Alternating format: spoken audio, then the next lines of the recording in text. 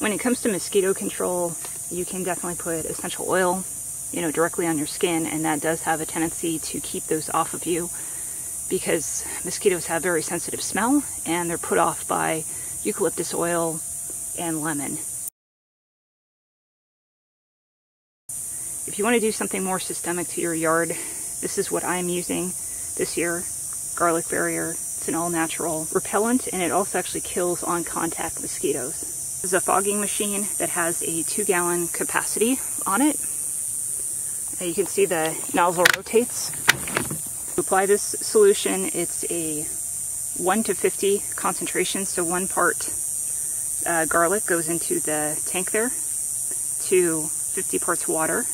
I happen to get the corded kind, but they do have ones with battery packs as well. So I'll link this product.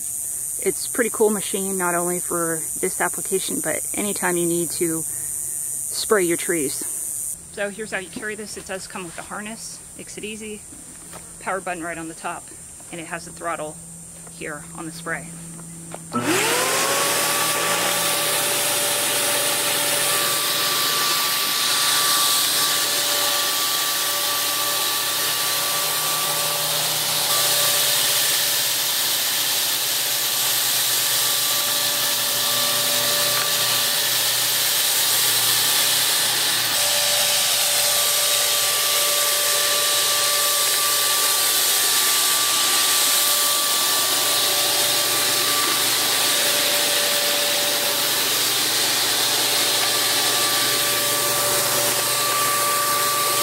Unfortunately, I find that this only lasts about two days. Problem is, my neighbors don't treat for mosquitoes, so inevitably, even though I kill everything in my yard, mosquitoes from their yards come in eventually.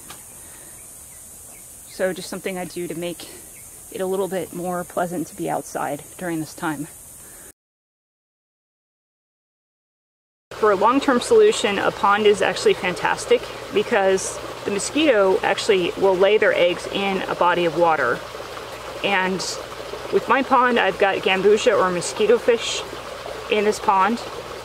They were populated from the very beginning and they control those mosquitoes by actually eating the larvae. So they do not have a chance to hatch. So these guys do a great job at breaking that life cycle so that you minimize the populations in your yard.